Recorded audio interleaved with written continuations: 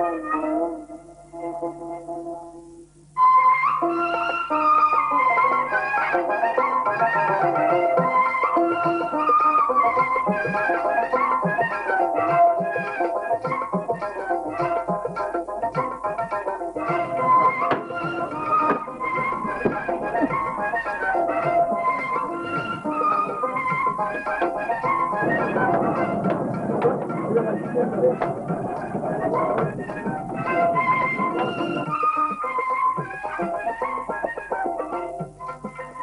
पहाड़ों के पार जो अफ़गानिस्तान की सरहद गुजरती है, इससे चंद ही किलोमीटर मशरक की तरफ़, ये सूबा सरहद के जिला बाजौड़ का कस्बा नावा गए है।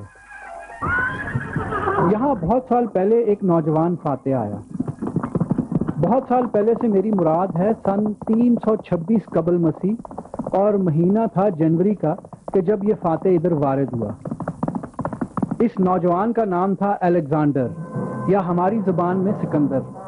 दरमियाने कद और सुनहरे बालों वाला सिकंदर, जो यूनान के सूबा मकदूनिया के बादशाह फिलिप या फैलबूस और उसकी मलका ओलंपिया का बेटा था।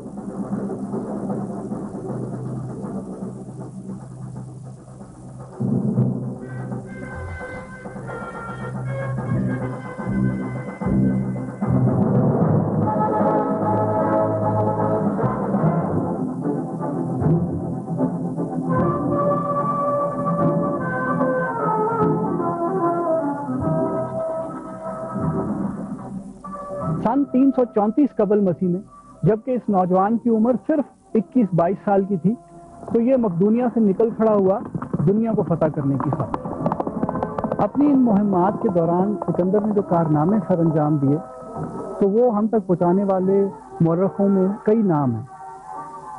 इन सब में आर्यान नामी एक तारीखदान खासा मस्तनद माना जाता है। आर्यान जो कि खुद भी यूनानी था, सिकंदर के मरने के कोई साढ़े तीन सौ साल बाद पैदा हुआ और उस वक्त की रूमी फौज का एक कमानदार था, जिसने अपनी नौकरी का बेशतर हिस्सा वस्ती तुर्की में गुजारा। सिकंदर की कहानी हम तक पहुँचाने के लिए आर्यान ने जिन लिखारियों की तसानीफ इस्तेमाल की तो वो वो थे जो कि ना सिर्फ़ सिकंदर की फौज में शामिल थे, बल्कि उसके बहुत करीबी दोस्त अहबाब भी थे। तब तक इन लिखारियों का काम अभी ज़ाया नहीं हुआ था। फिर वक्त गुजरने के साथ साथ ये काम तो मफकूद हो गया, लेकिन आर्यान के ज़रिए खुशकिस्मती से इस असल का माखज हम तक पहुँच गया। इसके अलावा आर्यान को उन खतूत तक भी दस्तरस थी कि जो सिकंदर ने अपनी माँ ओलंपिया को और अपने उस्ताद अरस्तू को लिखे थे और जो कि अभी तक हवाद से ज़माना का शिकार नहीं हुए थे। सो इस सफ़र में सिकंदर के नक्शे कदम पर हमारा राहबर आर्यान ही है।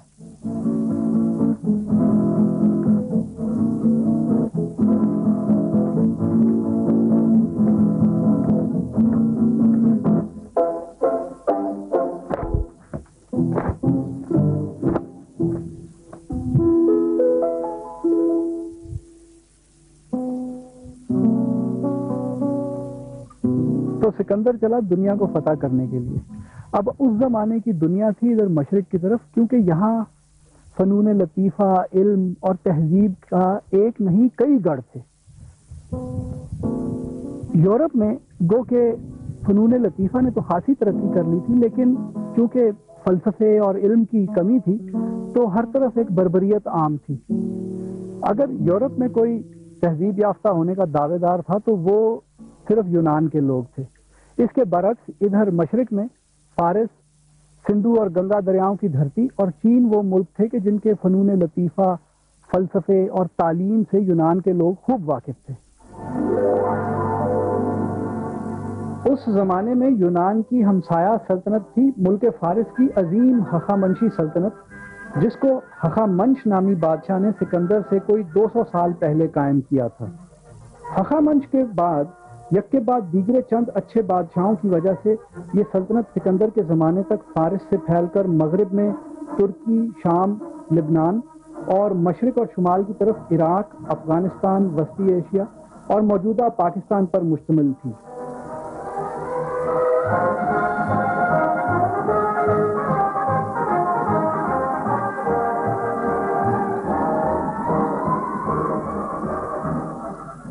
सिकंदर के जमाने में हखामंशी सल्तनत का बादशाह था दारा, जो कि हखामंश की औलाद में से तो ज़रूर था, लेकिन उस खानदान से नहीं जिसके शहजादे रवायतन तख्त पर बैठते थे। दारा को एक साजिशी वज़ीर ने असल बादशाह को कत्ल करने के बाद तख्त पर बिठाया और इस ख्याल से कि बादशाही के असूलों से नावाकिफ दारा शायद उसके हाथों में खेलेगा। लेकिन दारा अपने साजिशी वज़ीर से एक हाथ आगे निकला और उसने पहली ही फुर्सत में वज़ीर का काम तमाम करवा दिया। फिर जब यूनानी फौज का सामना हुआ तो दारा एक दफ़ा भी उसके सामने खड़ा होकर नहीं लड़ा। हर मार्के में उसी ने सबसे पहले बुजदिली दिखाई और फिर उसके पीछे उसकी फौज दिल बर्दाश्ता होकर भागी। यहाँ तक कि इस भागने में उसने अपनी माँ, अपनी बीवी और बच्चों तक को सिकंदर के हाथ छोड़ दिया। और फिर यूँ भागते हुए वो शुमाली ईरान में एक जगह पहुँच गया, जहाँ उसके एक जर्नैल ने उसको अलबुर्ज पहाड़ों की छाव में एक दिन कत्ल करके किस्सा ही तमाम कर डाला। सिकंदर ने तुर्की में कई मार्के लड़े। वहाँ से शाम और लिबनान के रस्ते मिस्र पहुँचा, जहाँ फतूहात के अलावा इसने सिकंदरिया नाम का शहर आबाद किया, जो कि आज तक कायम है। फिर वापस पलटा और इराक को फतह करने के बाद फारिस या मुल्क ईरान में पहुँचा। और इस तरह सिकंदर फारिस को फतह करके अफ़गानिस्तान से होता हुआ वस्ती एशिया में ताशकंद तक जा पहुँचा। वहाँ से वापस अफ़गानिस्तान में फतूहात करता, सिकंदरिया नाम के चंद शहर आबाद करता हुआ यहाँ नवागई में वारद हुआ।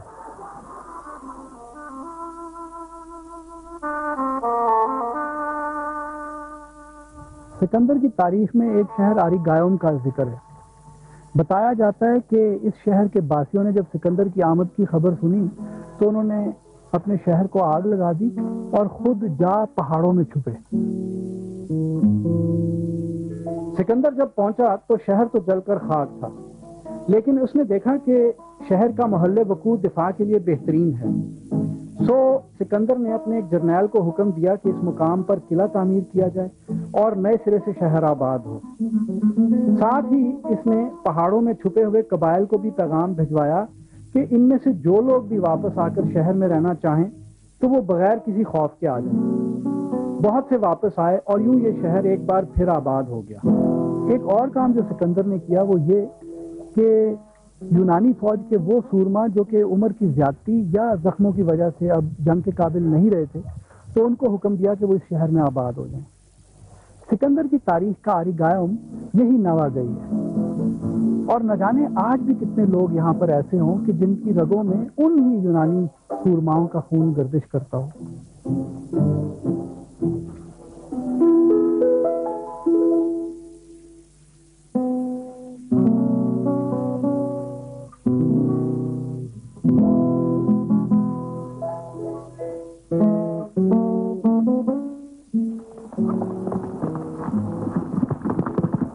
आरी गायोम या नवागई को दोबारा आबाद करके सिकंदर आगे बढ़ा। इसकी पेशकदमी वादी स्वाद की तरफ़ थी। और जो रास्ता उसने लिया वो यही था जिस पर आप आज नवागई से स्वाद का सफ़र करते हैं। यानी नवागई से खार और वहाँ से दीर के कस्बे, मुंडा और तिमरगरा के रास्ते स्वाद। रस्ते में पहाड़ों के दामन में उसको मुकामी फौज के एक और दस्ते का सामना हुआ। इस जगह का कोई नाम तो नहीं बताया जाता, ना ही इसके खंडरात का कोई निशान मिलता है। लेकिन मेरे ख्याल में वो जगह नवागई और दीर के गाँव मुंडा के दरमियान इन ही पहाड़ों के बीच में थी।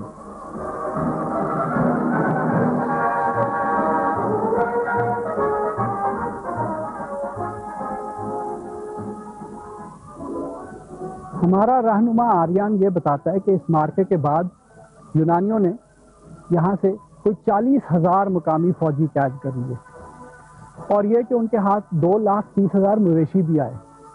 लेकिन एक बात तय है कि तारीख में आदाद शुमार अमूमन बढ़ा चढ़ा के इसलिए बताए जाते थे कि अपने बादशाह को तो जंगो जदल का बड़ा माहिर और हीरो बताया जाए और दूसरों को ज़रा कमतर। जब सिकंदर यहाँ पहुँचा है तो उसकी फौज सिर्फ़ पचास हज़ार जंगजुओं पर मुश्तमिल थी। और ऐसा नहीं था कि ये यूनानी को इतने बड़े सूरमा थे कि पचास हज़ार ने चालीस हज़ार कैद कर लिए हैं। दूसरी ये भी बात है कि इतनी बड़ी फौजों की जब जंग होती थी तो दो दो तीन तीन दिन चलती थी। और ये जंग एक क्या आधे ही दिन में खत्म हो गई। फिर एक बात और है, और वो ये कि उस जमाने में आबादियाँ इतनी नहीं थी कि हर गाँव और हर शहर ही चालीस हज़ार आदमियों की फौज की इस्तात रखता हो। लिहाजा जब भी आप तारीख में ये आदाद व शुमार सुने तो मान लें कि इसमें थोड़ी बहुत मुबालगा आरई ज़रूर है।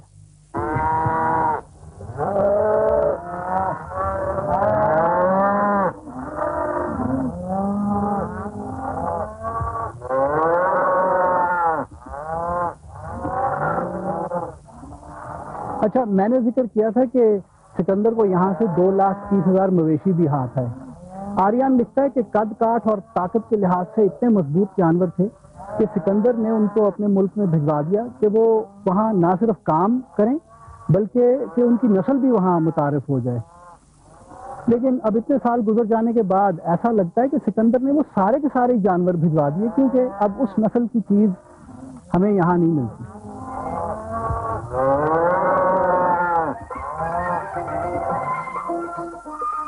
इस बेनाम जगह से आगे था मुल्क कौम असा नौए का।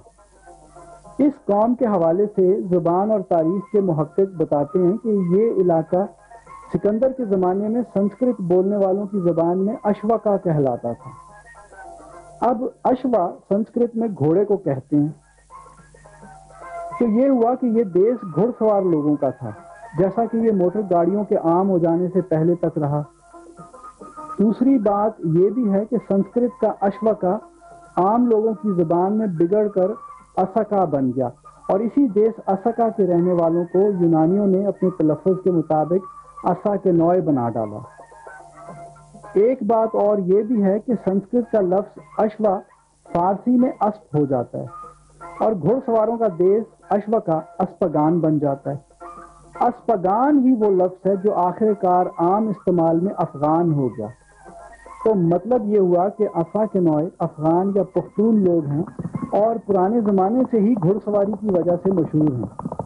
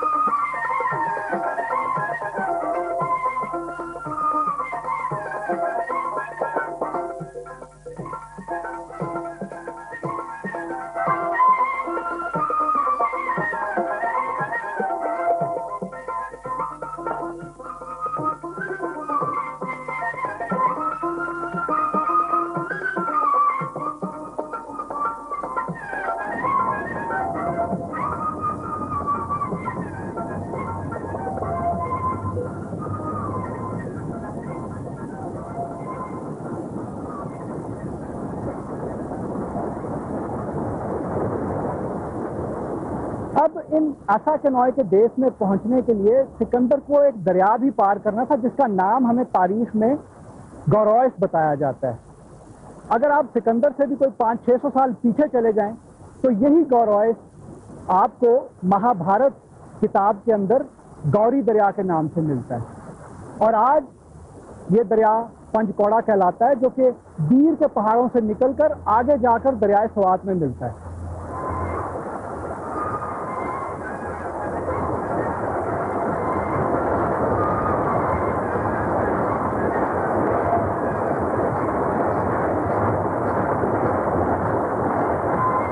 आर्यान लिखता है कि इस दरिया को पार करना मुश्किल इसलिए था कि ना सिर्फ़ तो ये गहरा था, बल्कि इसका बहाव भी तेज था और पानी में बड़े बड़े पत्थर थे जिन पर से गुजरना मुश्किल था।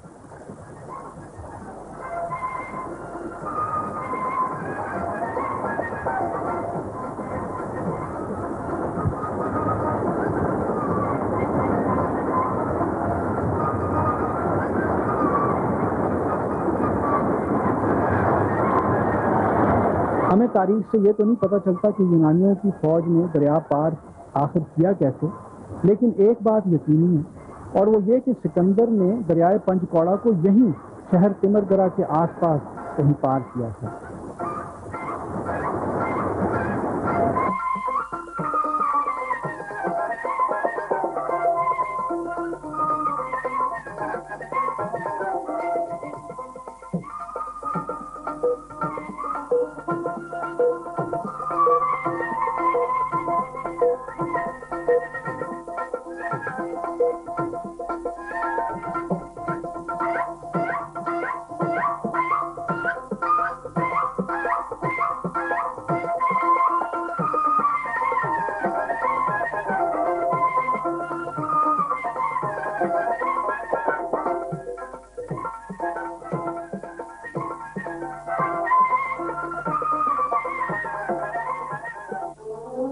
सिकंदर के जासूसों ने उसको बताया कि दरिया के पार कौम असा के नौए ने तीस हज़ार पैदल फौज बिमा दो हज़ार घुड़सवार और तीस जंगी हाथियों के मुकाबले की तैयारी कर रखी है। लेकिन जैसे ही यूनानी फौज जंग के लिए आगे बढ़ी, ये लोग भाग निकले। आरियान कहता है कि यहाँ की पख्तून फौज के भागने का मकसद ये था कि वो अपने अपने गाँवों और शहरों में जाकर इनकी हिफाजत की तैयारी करें। इनके जहनों में जो भी था, आगे जो मार्का सिकंदर और इसकी फौज का मुंतजर था, वो था मसागा का मार्का। अब मसागा इन चंद जगहों में से एक है कि जिसकी खोज माहिरीन आज तक नहीं लगा सके। आर्यान के मुताबिक ये एक बड़ा शहर था, जिसका किला बेहद मज़बूत था। एक और तारीखदान ये भी लिखता है कि इस किले के नीचे दरिया बहता था। कुछ क्यास है कि शहर मसागा जिला दीर के गाँव सराय के नज़दीक दरा काटगला के इलाके में था। सिकंदर के फतेह करदा किले के खंडरात तो अब मौजूद नहीं है। ये खंडरात सिकंदर के गुजर जाने के कोई डेढ़ सौ साल बाद की इमारतों थी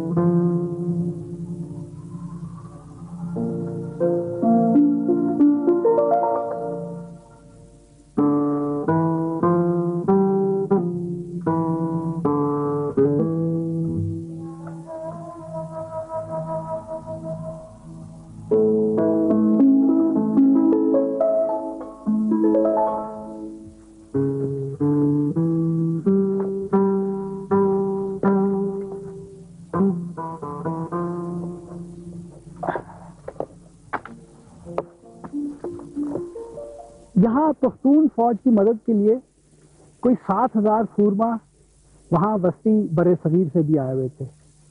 यानी पंजाब, राजस्थान या मगध का इलाका, जो कि आज पटना का हिस्सा है, वहाँ के भेजी हुई फौज। क्योंकि मसागा के दिफा करने वालों को अपनी ताकत और अपनी सिपागरी पर खूब नाज था तो उन्होंने यहाँ ये किया कि बाहर निकल कर एक सिकंदर की फौज पर यलगार की। सिकंदर की हिकमत अमली ये रही कि जैसे ही पख्तून फौज यहाँ से निकली तो उसने अपनी फौज को पीछे हटने का हुक्म दिया। पख्तून इसको यूनानियों की तस्पाई समझकर आगे बढ़े ही थे कि यकलख सिकंदर ने अपनी फौज को पलट कर हमले का हुक्म दिया। बस सिर्फ़ घमसान का रन पड़ा। और इसी में पख्तूनों के पैर उखड़ गए, हत्या कि वो वापस किले में आकर बंद हो गए। इस सारी कार्रवाई के दौरान सिकंदर के टखने में एक तीर भी लगा, लेकिन जख्म चूँकि मामूली था तो जंग जारी रही।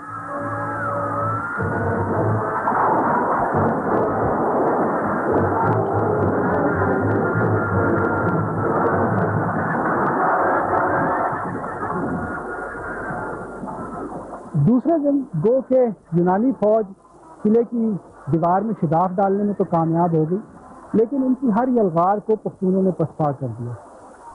तीसरे दिन भी मुहासरा कायम रहा और उस दौरान ये हुआ कि एक लकड़ी का पुल जो कि यूनानी फौज किले में दाखिल होने के लिए इस्तेमाल कर रही थी, वो टूटा और बेशुमार यूनानी फौजी वहीं गिर के ढेर। चौथे दिन भी मुहासरा कायम रहा। और इस दिन वो सात हज़ार सूरमा जो आए हुए थे, उनका सरदार जंग में काम आ गया।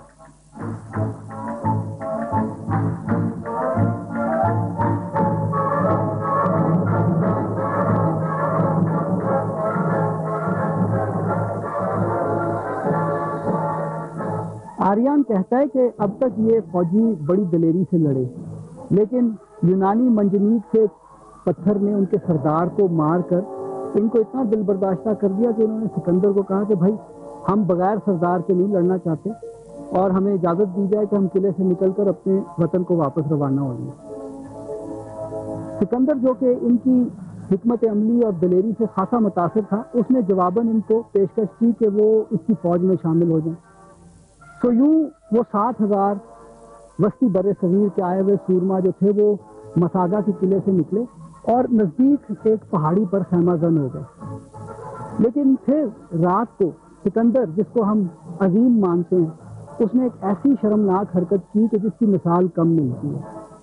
रात के अंधेरे में उसने यकलख्त इन सात हज़ार फौजियों पर हमला करके इन सबको कत्ल करवा डाला। तारीख बताती है कि सिकंदर को उसके जासूसों ने खबर कर दी थी कि ये सात हज़ार फौजी उसकी फौज में शामिल होकर अपने ही भाइयों के खिलाफ जंग नहीं करना चाहते।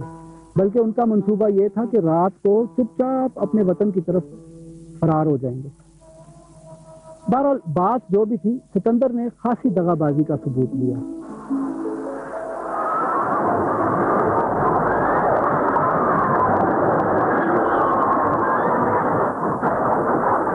पाँचवें दिन के मुहासरे में मसागा का सरदार, जिसका नाम आर्यान हमें मुल्क की नस्बत से आशा कैनस बताता है, वो भी जंग में काम आ गया। और यूँ मसादा का किला फुटा हुआ। आशा कैनस की देवा और बेटी सिकंदर के हाथ आई। और एक तारीख में ये भी है कि ये मलका, जिसका नाम क्लियोफिस था, उसने सिकंदर से शादी कर ली और सिकंदर की यहाँ से कूच के बाद उसके बेटे की माँ बनी। तो ये किस्सा था मसागा का। इससे आगे और जंगें थी और शहर थे। ये शुरुआत थी सिकंदर की उन मुहिमात की कि जिनको उसकी इंडियन कैंपेन या हिंदुस्तानी मुहिमात कहा जाता है। इन मुकम्मल मुहिमात को जानने के लिए हमारे आगे एक बड़ा लंबा सफ़र है।